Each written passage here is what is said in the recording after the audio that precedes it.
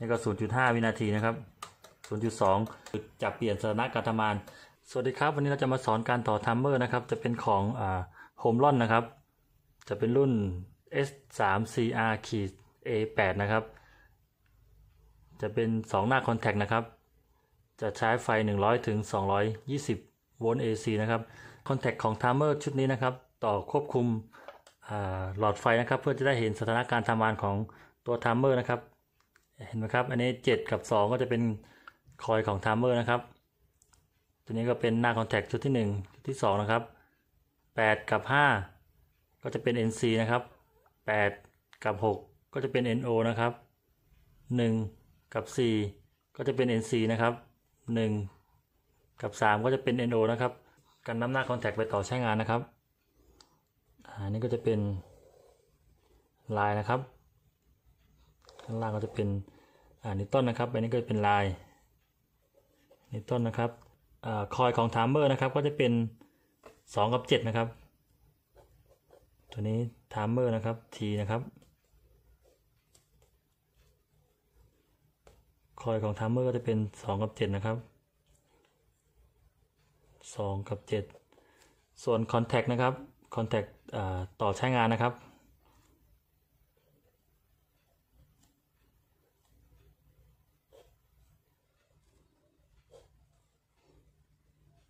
นี้ก็จะเป็น8นะครับ8 5 6นะครับ8กับ5ก็จะเป็น NC นะครับ8กับ6ก็จะเป็น NO นะครับ เราจะต่อควบคุมหลอดไฟนะครับ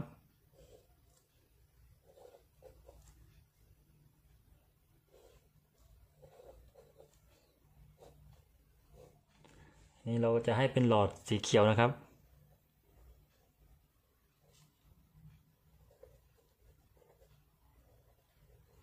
นนี้ก็จะเป็นหลอดสีส้มนะครับ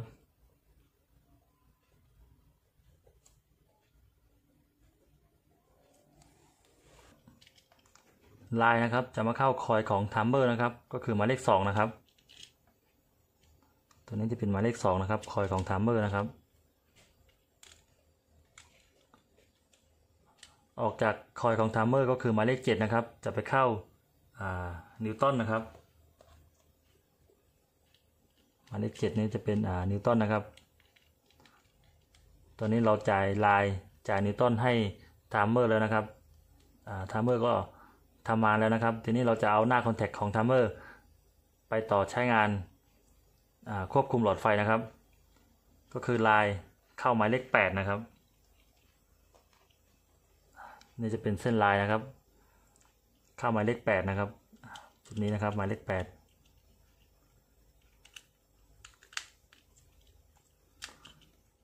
เราจะต่อหน้า NC ก่อนนะครับ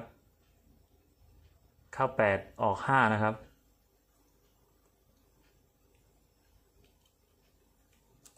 เข้า 8 ออก 5 นะครับ คือจุดนี้นะครับ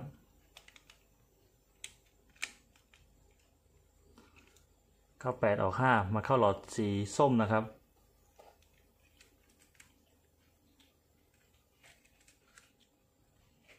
คือหลอดนี้นะครับหลอดสีส้ม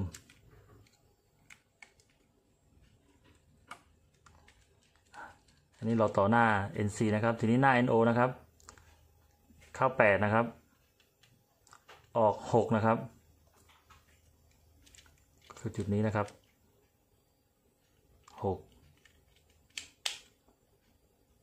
นี่ก็จะหกก็จะมาเข้าหลอดสีเขียวนะครับนี่ก็จะเป็นหลอดสีเขียว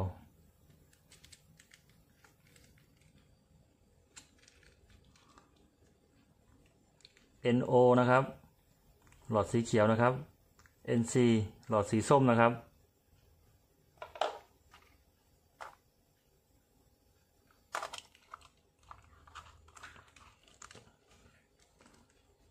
อันนี้เราก็จ่ายนิวตันให้หลอดไฟนะครับ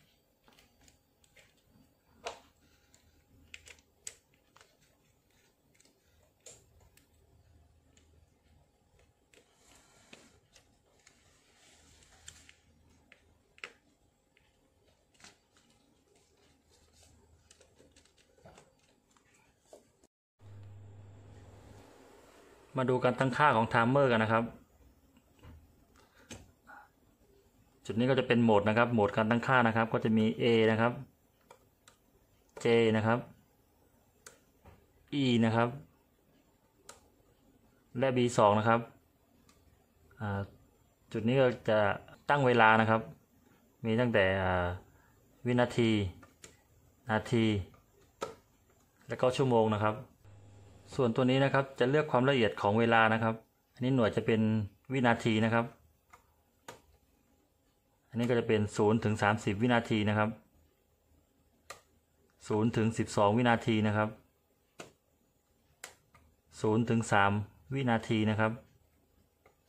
อันนี้ก็จะเป็น0ถึง1.2 วินาทีนะครับ ตัวนี้ก็ขึ้นอยู่กับเวลาที่เราตั้งนะครับว่าหน่วยจะเป็นวินาทีนาที หรือชั่วโมงนะครับ เรามาดูการทำงานโหมด A นะครับ หน่วยเวลาก็จะเป็น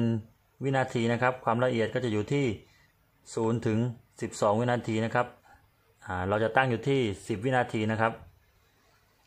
โหมด A นะครับ เมื่อเราจ่ายไฟให้ตัว timer นะครับ จะเห็นได้ว่าหน้า NC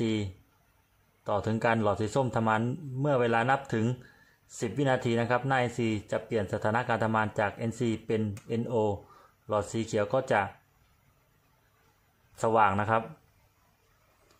โหมดการทำงานของโหมด A ก็คือจะเปลี่ยนหน้าคอนแทคเปลี่ยนสถานะการทำงานจาก NC เป็น NO ทีนี้เรามาลองโหมด E กันนะครับเห็นไหมครับจะเห็นได้ว่าเอาพุททำงานนะครับเอาพุททำงานเลยนะครับ เมื่อเราจ่ายไฟให้ตัวไทม์เมอร์นะครับ ก็คือตัวนี้นะครับเอาพุท ทำงานเลย เมื่อพุทนับถึง 10 วินาทีก็จะเปลี่ยนสถานะเป็น NC นะครับ หลอดสีส้มก็จะทำงานนะครับ ซึ่งต่างจากโหมด A นะครับ โหมด A ไฟ power ทำงาน เมื่อนับเวลาถึงที่เราตั้งไว้เอาพุททำงาน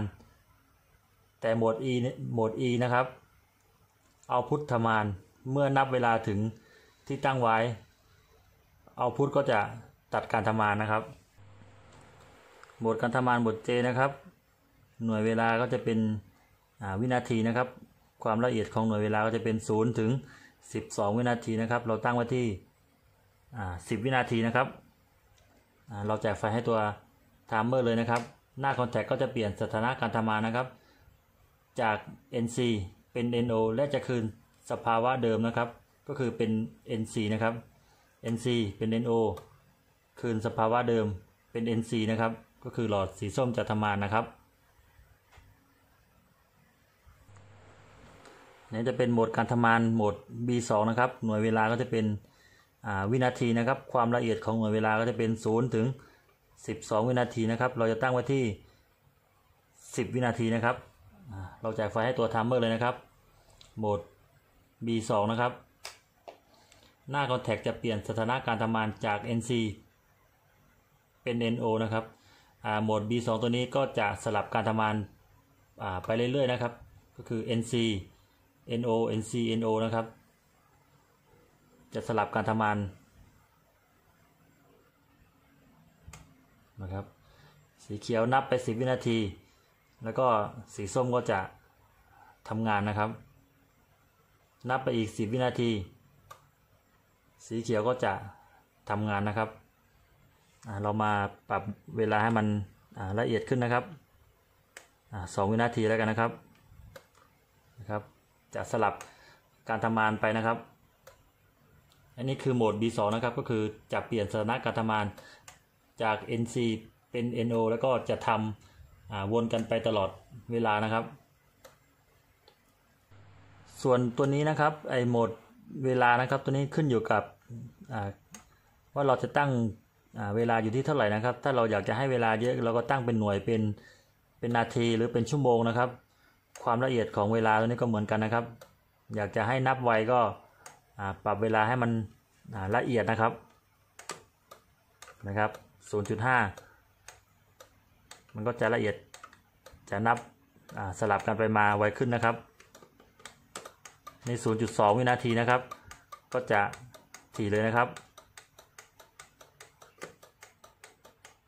นี่จะเป็น 5 วินาทีนะครับ 5 วินาทีแล้วก็จะสลับการทำงานนะครับ